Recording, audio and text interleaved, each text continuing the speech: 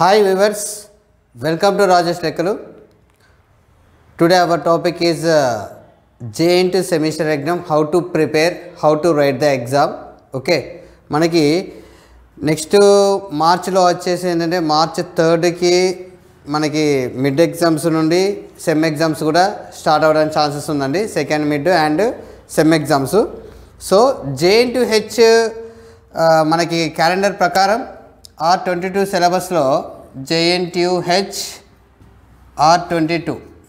Okay JNTH R twenty two సిలబస్లో ఇప్పుడు మనకి ఏమేమి ప్రిపేర్ కావాలి అసలు ఎలా రాస్తే మనకు మార్క్స్ వస్తాయి అనేది మీకు చెప్తానండి. ఇదివరకు మనకి ఎలా ఉండే ఎం వన్ అనేది ఉండే ఇప్పుడు వచ్చేసి మనకి ఏంటండి మ్యాట్రిసెస్ అండ్ క్యాలిక్యులస్ అని చెప్పారు.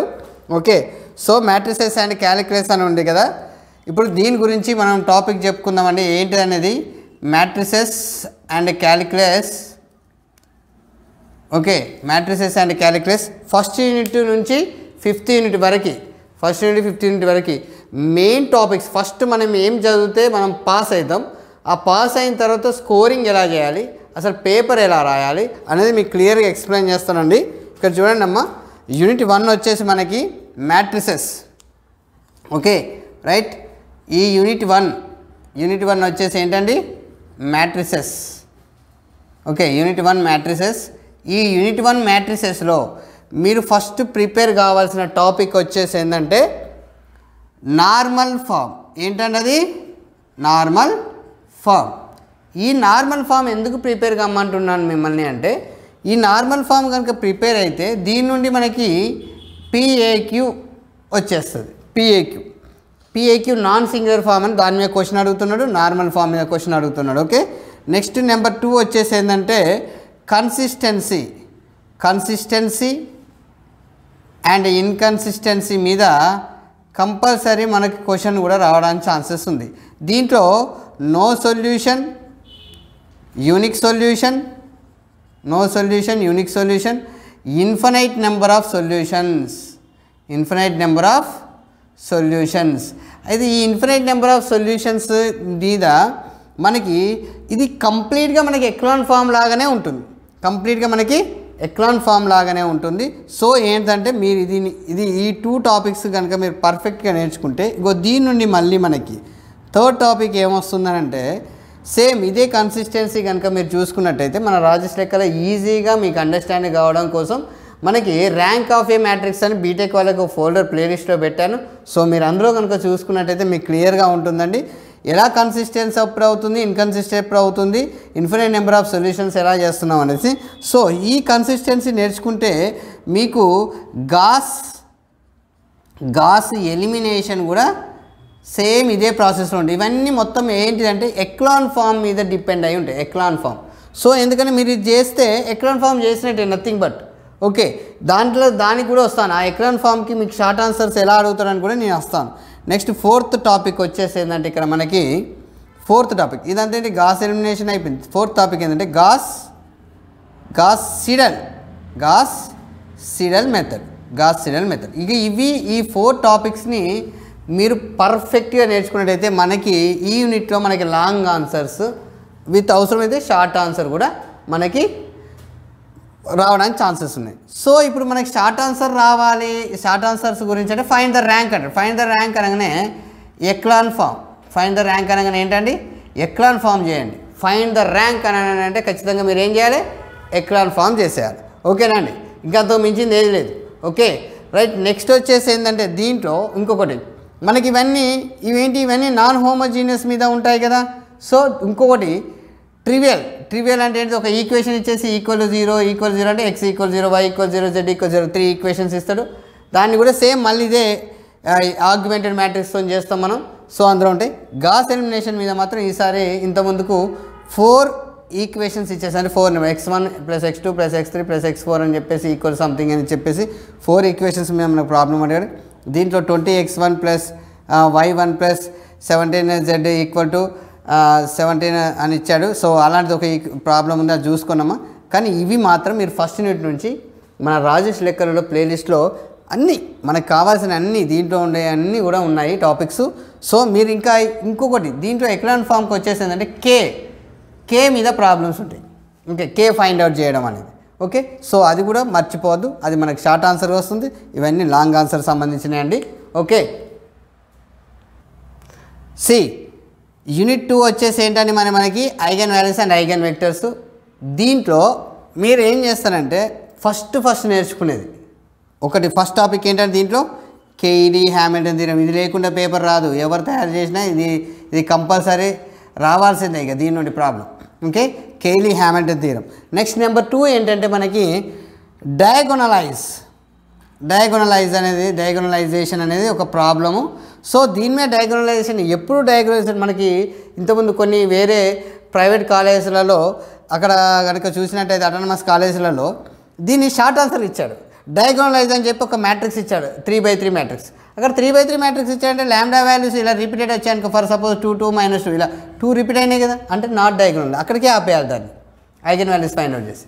అదే లాంగ్ ఆన్సర్ అడిగితే మీకు టూ మార్క్స్ కడిగిందా ఫైవ్ మా అది టెన్ మార్క్స్ కడిగిందా అనేది కొంచెం చూసుకోవాలండి. Long answer a eight marks కడిగిందా two marks కడిగిందా అనేది ఒకసారి చూసుకోవాలి దాన్ని. Okay diagonal. ఈ డయాగోనలైజ్ ఎందుకు చదవమంటున్నాడు దీంట్లో ఐగన్ వాల్యూస్ ఐగన్ వెక్టర్స్ మనం ఫైండ్ అవుట్ చేస్తాం. ఇప్పుడు ఐగన్ వాల్యూస్ అన్నిటిని ఒక మ్యాట్రిక్స్లో రాస్తే ఏమంటాం? మోడల్ మ్యాట్రిక్స్ పి అంటాం. Eigen vectors sorry. Eigen vectors అన్నిటిని ఒక మ్యాట్రిక్స్లో రాస్తే దాన్ని మోడల్ మ్యాట్రిక్స్ పి అంటాం. లాస్ట్ ఫర్ సపోజ్ నాకు one two three eigen values వచ్చాయి ల్యాండ్ ఈక్వల్. అదే డయాగోనల్ వచ్చిందనుకోండి వన్ టూ త్రీ. ఇలా డయాగోనలైజ్ నేను చేస్తే నాకు వచ్చింది. దీన్ని ఏమంటాం స్పెక్ట్రల్ మ్యాట్రిక్స్ అంటాం కదా. సో మనం ఈ డయాగోనలైజ్ కనుక నేర్చుకున్నట్టయితే ఆటోమేటిక్గా మీకు ఐగన్ వాల్యూస్ ఐగన్ వెక్టర్స్ వస్తాయి. ఇక ఇవి మీరు బాగా నేర్చుకోవాల్సింది. నెక్స్ట్ ఇంకొకటి ఏంటంటే టాపిక్ కోడిక్ ఫామ్. ఏంటన్నది? Quadratic form. ఈ కోడిక్ ఫామ్ విత్ ఆర్థోగొనలైజేషన్ దాంట్లో మీకు అడుగుతాడు ఆర్థోగొనాలిటీ ఆర్థోగొనాలిటీ అని అంటాడు. ఆర్థోగొనల్ ఓకే లేదా లీనియర్ ట్రాన్స్ఫర్మేషన్ ఆఫ్ ఆర్థోగొనల్ అని అంటాడు. సో అది మీరు నేర్చుకోవాలండి. ఎట్లా అంటే మనం ఏం చేస్తాం? X transpose X one transpose into X two అని చేస్తాం. అంటే అది ఏంటిది మనకి? పేర్ వైజ్ ఆర్థోగొనల్ అవుతున్నాయా లేదా చెక్ చేసుకోవాలి. మెయిన్ అయితే ఈ టూ టాపిక్స్ నేర్చుకోవాలండి. ఎక్స్ట్రాగా మనకు కావాలన్నప్పుడు ఈ ఈ కోడిక్ ఫామ్ నేర్చుకుంటే సరిపోతుంది. దీంట్లో మ్యాట్రిక్స్ ఫామ్ నుంచి కోడిక్ ఫామ్కి కోడిక్ ఫామ్ నుంచి మ్యాట్రిక్స్ ఫామ్కి కన్వర్ట్ చేసేది ఉంటుంది. ఐగన్ వాల్యూస్ ఐగన్ వెక్టర్స్ కూడా మనకి షార్ట్ ఆన్సర్ అడుగుతాడు. ఓకేనండి? సో ఇది మనం సెకండ్ యూనిట్ నుంచి సంబంధించింది. ఒకసారి మీరు ఇంకా సబ్స్క్రైబ్ చేసుకునే వాళ్ళు ఎవరైనా ఉంటే సబ్స్క్రైబ్ చేసుకోండి. అలాగే బెల్ బటన్ కూడా నొక్కండి. నేను ఎప్పటికప్పుడు నోటిఫికేషన్స్ అన్నీ మీకు రావాలి కదా. అప్డేట్స్ అన్నీ వస్తాయండి. ఓకే మీ ఫ్రెండ్స్ ఎవరైనా తెలియకపోతే మన ఛానల్ గురించి చెప్పండి. నెక్స్ట్ థర్డ్ యూనిట్కి వెళ్ళిపోదాం. ఇప్పుడు third unit. Unit three. Unit three ఏంటంటే ఇక్కడ మనకి వచ్చేసి క్యాలిక్యులస్ ఓకే యూనిట్ త్రీ వచ్చేసి క్యాలిక్యులస్ దీంట్లో unit three calculus first topic. దీంట్లో అంటే ఏముంటాయి? మీన్ వాల్యూ థీరమ్స్ను మళ్ళీ ఇంకేముంటాయి? బీటా గామాలు ఉంటాయి.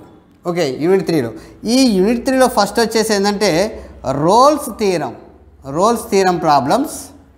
Rolle's theorem problems. Next Lagrange's mean value theorem problem. ఖచ్చితంగా దీని నుండి అయితే ఖచ్చితంగా రావడానికి ఛాన్సెస్ ఉంటాయి. లాస్ట్ టైము మనకి దీని నుండి వచ్చింది నెక్స్ట్ రోల్స్ థీరం నుంచి కూడా మనకి క్వశ్చన్ వచ్చిందండి. నెక్స్ట్ కాచిస్ మీన్ వాల్యూ తీరం ఇంకో ఇది కూడా. దీని నుండి షార్ట్ ఆన్సర్ వచ్చింది కాచిస్ మీన్ వాల్యూ తీరం నుండి. సో మీకు క్యాలిక్యులేటర్స్ అని రాజస్ లెక్కలలో ప్లేలిస్ట్లో క్యాలిక్యులస్ అని ఉంటాయి. సో ఇవి మీరు చూసుకోవచ్చు.